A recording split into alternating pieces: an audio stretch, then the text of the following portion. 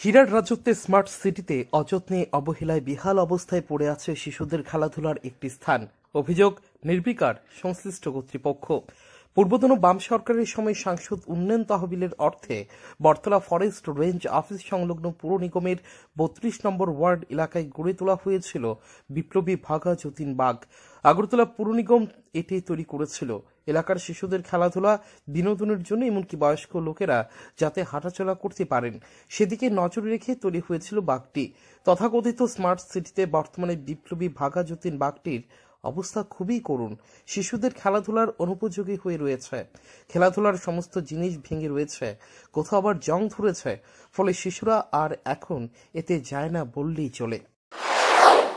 পার্কটা তো অনেক দিন ধরে আছে এখানে দীর্ঘদিন ধরে আছে বন্ধ আছে।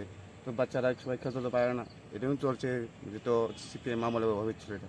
এখন তো বিজেপি আছে হুম প্রশাসন আছে এখন তো এটা কাজ করে করে দিতে পারে আপনারা সরকারে। যেটা তো যেরকম পড়ে আছে গুঙ্গার মতো পড়ে আছে বাথরুম আছে, সব কিছু আছে এখানে। এখানে কিছুই নেই এখন। বাথরুম সব কিছু বন্ধ আছে। বাচ্চারা তো এখন আসেই না এখানে। জানা গেছে প্রায় এক বছর ধরে, এটির অবস্থা খুবই করুণ হয়ে পড়েছে। অভিযোগ, সংস্কারে নেই কর্তৃপক্ষের কোনো উদ্যোগ। দাবি উঠেছে দ্রুত সংস্কার করে শিশুদের খেলাধুলার জায়গাটি পূর্বের অবস্থায় ফিরিয়ে আনার। রিপোর্ট, চ্যানেল তিন রাত।